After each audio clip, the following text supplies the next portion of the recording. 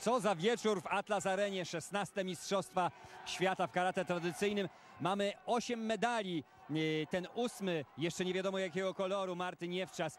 E, Rozmawiamy na koniec, żeby to spuentować z Włodzimierzem Kwiecińskim, prezesem Polskiego Związku Karate Tradycyjnego. E, Zaczęliśmy i kończymy w Łotku. E, No, te trzy złota wyglądają wspaniale. Jedno lepsze od drugiego i drużyna mężczyzn e, w kumite drużynowym. I ten złoto Marty Niewczas, szósty złoty medal w jej wykonaniu. No i wspaniała Justyna Marciniak. Trudno powiedzieć, kto tutaj zrobił większą furorę. Oczywiście są to trzy medale równoważne. Oni pracowali wspaniale na to, ale dla mnie osobiście największym e, zwycięstwem jest zwycięstwo Kumite Drużynowego Mężczyzn. To jest taka troszeczkę niepisana tradycja, że ta konkurencja jest najbardziej ceniona. To jest jednak drużyna, to jest trzech ludzi, którzy walczą jak jeden mąż. I udało się zwyciężyć po 20 latach. 92-2012. Nie mogłem sobie wymyśleć lepszego dwudziestolecia. 40 lat e, karate e, tradycyjnego w Polsce. W ten sposób się jakoś puentuje, ale jeżeli coś się kończy, to coś się zaczyna. Zaczyna się następne dziesięciolecie. Jakie plany zatem?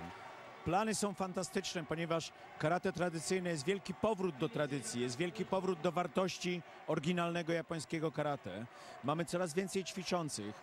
E, Kolejny kontynent e, odrodził się, e, to jest Afryka i kraje arabskie, Azja, a za rok mamy, tutaj gościmy e, kongresmena Chobina Cukerana z Japonii, który jest e, elektem z okręgu okinawskiego i na zamku w Shuri, to jest taki zamek jak nasz Wawel z takim znaczeniem, chcemy za rok w e, październiku e, zorganizować wielki turniej renesansu karate tradycyjnego, które wyszło z Okinawy i rozpocznie się nowa droga z Okinawy.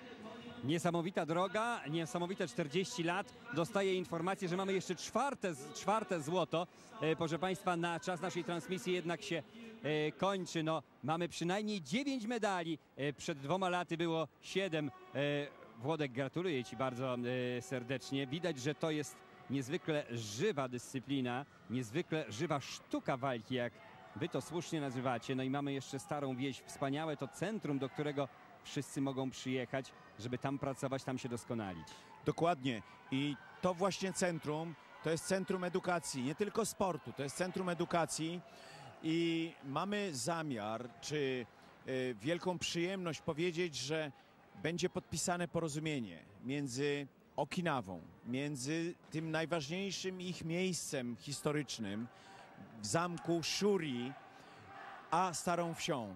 Będzie taki bipol, który będzie obowiązywał w dwie strony. Polska młodzież będzie mogła jeździć na Okinawę i poznawać kulturę i karate japońskie i odwrotnie, Japończycy będą mogli przyjeżdżać do Polski. Wspaniała wiadomość, wspaniałe sukcesy. Gratuluję jeszcze raz. Dziękujemy bardzo. Tyle z 16 Mistrzostw Świata Karate Tradycyjnym.